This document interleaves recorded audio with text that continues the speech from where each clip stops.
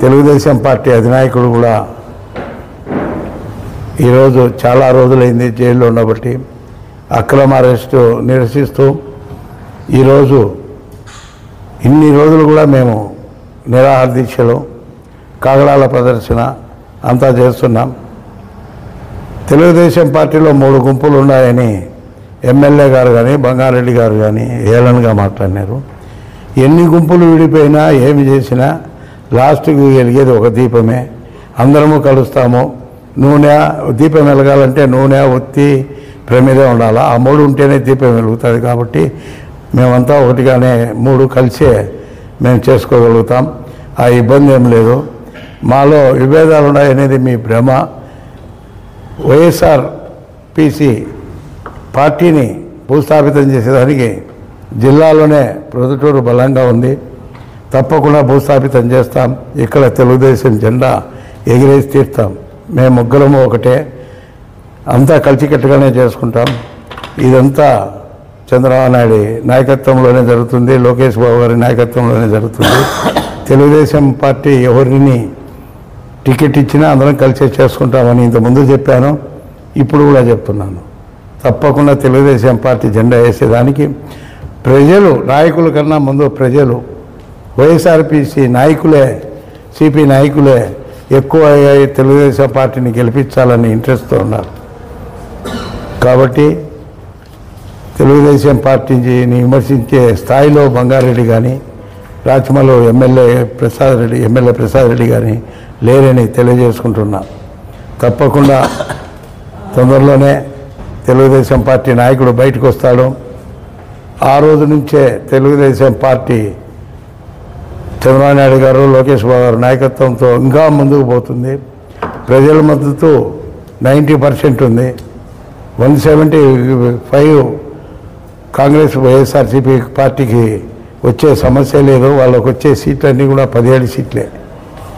అంతకు మించి వచ్చే సమస్య లేదు. సర్వేలలో తెర తెల్లవుతున్నాయి వందల కోట్లు ప్రజాధర్యాన్ని దుర్వినియోగం చేస్తూ ఈరోజు మీరే చూసేటారు. పేపర్ కూడా చూశాను నేను మార్నింగ్. సర్వే టీములకు కూడా వాలంటరీ స్కీమ్ కింద రెండు వందల చిల్లర కోట్లు ప్రజాధర్యాన్ని సొంత డబ్బు ఇవ్వకుండా సర్వే టీములకు ఈ డబ్బు ప్రభుత్వ డబ్బును దుర్వినియోగం చేస్తూ సాక్షిలో ఉండే స్టాఫ్కంతా కూడా ప్రభుత్వంలో సలహాదారులుగానో వాలంటీర్గానో ఉద్యోగస్తులుగానో వేసుకొని వాళ్ళందరికీ జీతాలు ఇవ్వడం జరుగుతుంది. ఇంత నీచమైన పరిపాలన ఇండియాలోనే కాదు ప్రపంచంలో కూడా ఎక్కువ ఎక్కడ ఉండదు.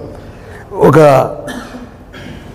చేతగాని సీఎంకు ఇటువంటి ఆలోచనలు వచ్చి ప్రజా డబ్బును ఇంత దుర్వినియోగం చేసి విపరీతంగా కరెంటు ఛార్జీలు పెంచారు. అదంతా ప్రజా డబ్బే. ఎంత వస్తుందంటే ఎంత పెరిగినాయంటే అప్పుడు పది రూపాయలు వచ్చేది ఇప్పుడు ముప్పై రూపాయలు వస్తుంది. కరెంటు మూడింతలు పెరిగింది. ఇంటి పన్ను చెత్త పన్ను రేషన్ బి- బియ్యం సన్నబియ్యం నేను. ఇంతవరకు సన్నబియ్యం ఎక్కడ ఇచ్చిన దాఖలు లేవు. ఆర్టీసీ పర్మనెంట్ చేస్తామన్నాడు ఇంతవరకు చేయలే.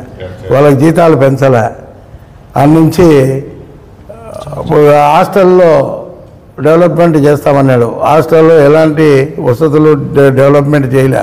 చాలా హీన పరిస్థితుల్లో ఉన్నారు స్టూడెంట్స్ అయితే హాస్టల్లో. మీరు పోయి గమనించండి చూడండి. ఇట్లాంటి ఎన్నో ఎత్తుకుంటే దండిగా ఉన్నాయి. ఒకటి కాదు రెండు కాదు. మహాభారతం రాసినన్ని అవినీతి కేసులు అసమర్థత పాలన గురించి చెప్పాలంటే దండిగా ఉంది. ప్రజలు మాకన్నా ఎక్కువ తెలుసుకున్నారు. ముఖ్యంగా మహిళలు అయితే గుప్పెట్టు పెట్టు గుప్పెట్లో పెట్టుకొని ఉన్నారు. ఎప్పుడు ఈ ప్రభుత్వం పోవునా అని చెప్పేసి వాళ్ళు ఎప్పుడు తెలుగుదేశానికి ఓటేయాలని ఎదురు చూస్తున్నారు. తప్పకుండా వాళ్ళ పంట పండుతుంది. ఖచ్చితంగా రాబోయే ఎలక్షన్లో తెలుగుదేశం పార్టీ జెండా ముఖ్యంగా ఆంధ్రప్రదేశ్లో ఎప్పుడూ లేనంత ఇదిగా సీట్లు వస్తాయి. కడప జిల్లాలో కూడా అత్యంత మెజార్టీతో గెలిచే సీటు ఏదంటే పొద్దుటూరే. ఇది నేను ఛాలెంజ్ చేసి చెప్తున్నా. పొద్దుటూరేలోనే కడప జిల్లాలోనే పొద్దుటూరికి అత్యంత మెజార్టీ ఓట్లు వస్తాయి. ఇది నేను ఛాలెంజ్ చేసి చెప్తున్నాను రెండోతరు కూడా చెప్తున్నాను. ఇప్పటికైనా ఎమ్మెల్యే గారు రాచమల్లు గారు కానీ మున్సిపల్ వైస్ చైర్మన్ బంగారెడ్డి కానీ విలేకరుల పైన కానీ ఎవరన్నా స్టేట్మెంట్లు ఇస్తే తెలుగుదేశం నాయకులపైన కానీ ఎవరెవరితోనో స్టేట్మెంట్లు ఇప్పించడము నీచంగా మాట్లాడించడం హేళనగా మాట్లాడించడం మానుకోవాలా? నీ పైన ఏదన్నా విలేకరులు కానీ ఇంకొకరు కానీ చట్ట ప్రకారం పో నీ పైన ఏదన్నా చెడ్డగా రాసిన అవినీతి ఆరోపణలు రుజువు కాకపోతే క్లెయిమ్ చేసుకో. కోర్టులకు వేసుకో చట్టం ఉంది. చట్ట ప్రకారం పో. బాధలే. నీ ఇష్టం వచ్చినట్టు నోరు ఉంది కదా అధికారం ఉంది కదా అని తిట్టే విలేకరులు చాలా బాధపడుతున్నారు. మాకే వచ్చి చెప్పారు. హేమమైన తిట్లని చాలా ఘోరమైన తిట్లని మేము కూడా వాళ్ళందరికీ ధైర్యం కలిగిస్తూ వాళ్ళకు సానుభూతి తెలుపుతున్నాం. జై తెలుగుదేశం జై చంద్రబాబు నాయుడు గారు.